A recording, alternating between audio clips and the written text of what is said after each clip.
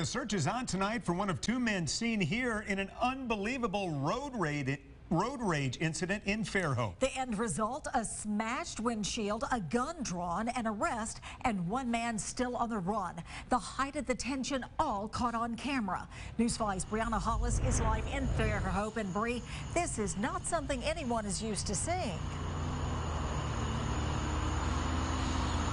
Oh, absolutely not, guys. And it was already the talk of the town because there's a traffic backup, a huge police response. But when we showed people that picture of the guy with the gun, the other guy on top of the car, they were just beside themselves. Okay, so I told you there was a road rage incident earlier here today. Right. I'll show you a picture of it. Oh my gosh. Like, what the heck? Vanessa Haddon was looking at this, the pinnacle of a possible road rage situation all unfolding at the corner of Greeno Road and Fairhope Avenue. That is so crazy, and I wonder who they are. Police say the man holding the gun is Maurice Mayo of Mobile. He reportedly got out of his car to confront the driver of a red hatchback. That's the other guy you see in the picture. Police haven't caught him yet.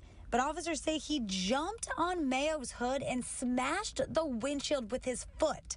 Honestly, that's kind of scary being it's Fairhope and like the guy has a gun.